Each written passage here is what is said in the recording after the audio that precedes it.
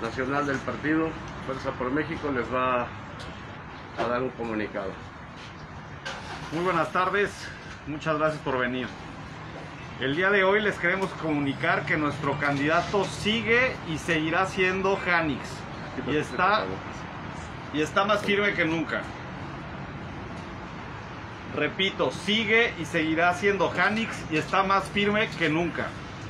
Esto es un acto más de desesperación por parte de la mafia del Partido Verde que durante muchos años tuvo la confianza de la ciudadanía y los ha venido traicionando una y otra vez.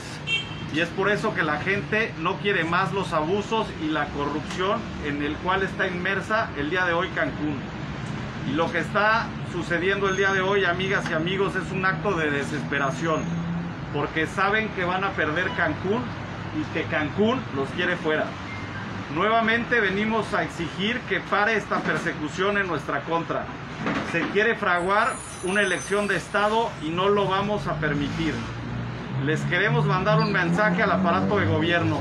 Saquen las manos del proceso.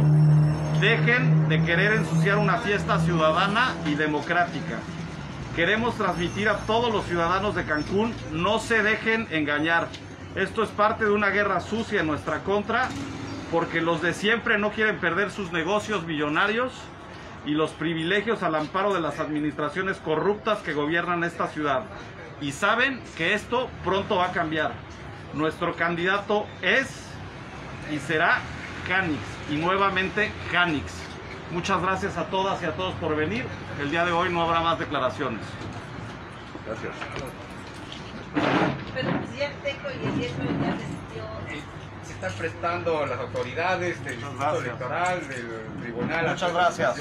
A que se debe el silencio entonces, si vienen a dar un- Por cuestiones, por cuestiones legales eh, tenemos permitido hacer un comunicado y hasta ahí. Muchas gracias a todos por, por- por venir y, y nos, ayudarán, nos, nos ayudarían mucho para transmitirlo a la ¿Me ciudadanía. repites tu nombre? Alejandro Meléndez Claviot. Gracias, con permiso, muy Gracias. buen día. Gracias.